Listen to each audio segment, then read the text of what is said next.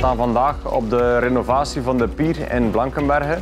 Eh, de pier in Blankenberge is een, eh, een iconisch monument aan de Belgische kust. Het dateert van 1930 ongeveer, maar was onderhevig aan sterke betonrot. En wij staan op vandaag in met deze bouwwerkzaamheden voor de volledige renovatie van de wandelweg tot aan het kopgebouw.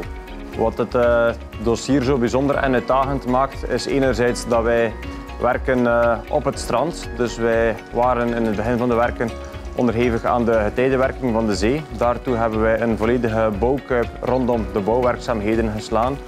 Uh, anderzijds is het de bedoeling dat wij hier uh, zo historisch correct mogelijk proberen te werken.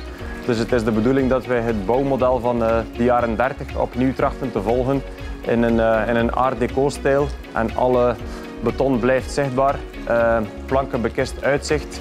En het is ook de bedoeling dat wij met moderne technieken kunnen weerstaan aan de weersomstandigheden hier aan de kust.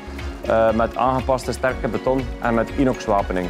Het is zo dat de betonvorm van de, de pier van de wandelweg het bijzonder uitdagend maakt om alle complexe betonvormen mooi als een puzzel in elkaar te krijgen.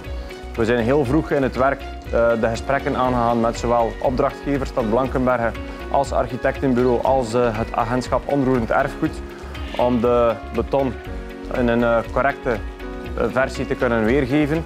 Daartoe hebben wij een, een samenwerking aangegaan met de mensen van, van Prefant om die meest complexe betonvormen, prefab in atelier bij hen, te gaan vooraf maken.